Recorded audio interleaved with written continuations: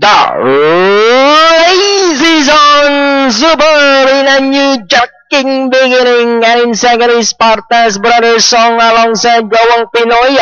Then followed by Never Say Goodbye and Pax Britannica is running at the tail of the field. And that's still Super acting as the flag bearer by about two lengths. Partas in second, Gawang Pinoy, sorry outside third. Racing in fourth, Never Say Goodbye, Brother Song, and Pax Britannica is still running at the tail of the field. And it's still super by about half palenga. And outside, moving up now is Gawang Pinoy, dollar inside third, Partas, Pax Britannica, up on the outside. Uh, Super Pax Britannica, now the outside, the victory.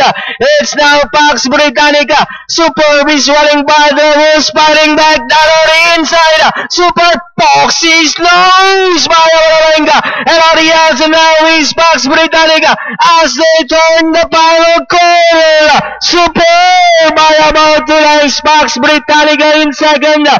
Still Super Pax Britannica is on the outside. Super Pax Britannica. Super overpowering Pax Britannica. Brother Song, Gawang Pinoy, Never Say Goodbye, Pardas.